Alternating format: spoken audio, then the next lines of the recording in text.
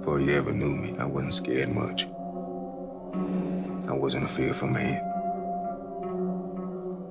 Things I've seen, things I know, wouldn't do anything but cause harm. My whole brain's a bunch of missing pieces. Did you think you could just go on and never once have to look back?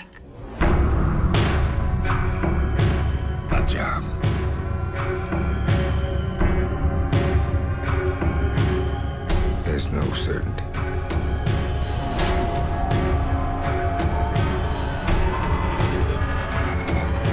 This case is more haunting than anything.